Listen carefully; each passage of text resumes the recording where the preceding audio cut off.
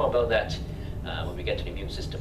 But uh, having a capsule usually increases the virulence because it uh, basically shields itself from the immune system. The immune system only see like a lot of a lot of uh, sugar. It doesn't necessarily recognize the bacterial component. Okay, so having a capsule.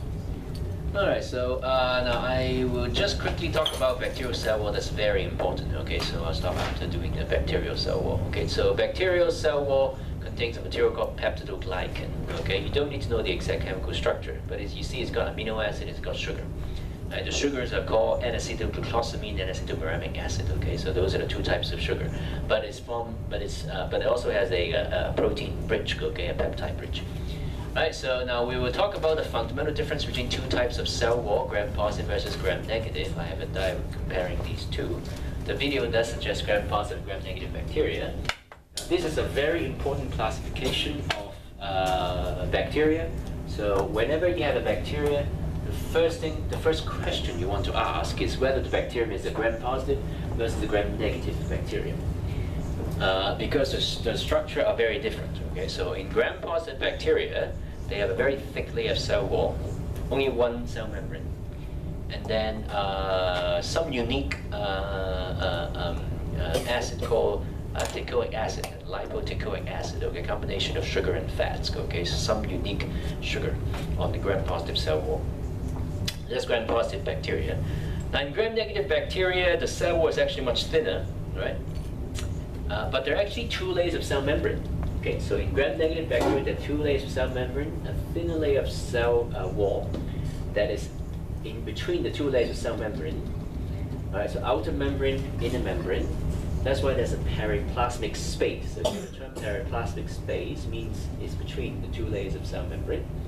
Right, so, uh, and uh, the cell was actually inside the uh, peptido, uh, the peptidoglycan cell was inside the uh, periplasmic space. Now, on the outside of the uh, gram-negative bacterial cell wall, you have LPS, okay, which is a very, very common thing. This is, you actually need to remember what LPS is, okay? They are associated with only gram-negative bacterial cell wall. LPS is the one of the major cause for uh, bacterial sepsis, okay? So when you get a bacterial infection in your bloodstream, uh, LPS that is released into the bloodstream uh, gives you fever, and then uh, your body, you know, when your body sees a lot of LPS, your immune system may overreact and then go into a shock response. Okay, so uh, LPS is uh, one of the leading cause of sepsis, which is on the cell wall of gram-negative bacteria, on the cell membrane of gram-negative bacteria. Right, so uh, the two-layer cell membrane. Okay, so there are also some porins that allow things to get through. Okay, but they also have an inner cell membrane. Okay, so this is the fundamental difference between these two types of bacteria, gram-positive versus gram-negative. Now next week we're going to do a gram stain, okay, to differentiate between bacteria that are gram-positive versus gram-negative. Okay, so uh, now once again this is very important, so you need to know uh, the structure of the bacteria very well. I have multiple questions asking you the differences between the structure of gram-positive versus gram-negative cell wall. You need to remember gram-positive bacteria has a thick layer of peptidoglycan, one layer of cell membrane. Gram-negative bacteria have two layers of cell membrane, only a, only a, uh, a thin layer of uh, cell wall that is sandwiched between these two layers of cell membrane. Okay, so, All right, so uh, it's actually a good point to stop. Okay, so I'll stop here for the lecture.